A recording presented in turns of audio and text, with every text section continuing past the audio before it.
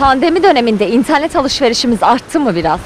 O e, üçe katlanmıştır. Belki ona katlanmıştır. Öyle oldu. Pandemi sürecinde internetten alışveriş patlama yaptı. Pek çok sektör küçülürken e-ticaret 2020'de %65 büyüdü. Koronavirüsle mücadele günlerinde vatandaş alışverişe dışarıya çıkmaktan tedirgin oldu. Tüm ihtiyaçlar internet üzerine kaydı. Hal böyle olunca da e-alışverişte büyük oranda artış görüldü. Ne sıklıkta alıyoruz? Bayağı sıklıkla alıyoruz maalesef. En son geçen hafta oğlana bir oyuncak aldım. Online alışverişte rekor süpermarketlere geçti. İnternetten mutfak alışverişi yapanların oranı 2019'a göre 5 kat arttı.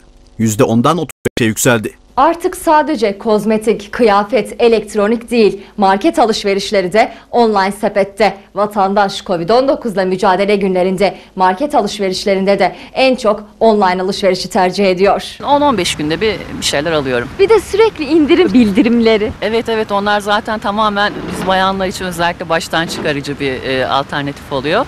Alışverişi seviyoruz. Tüketiciyi en çok online alışverişin hızı ve konforu etkiliyor.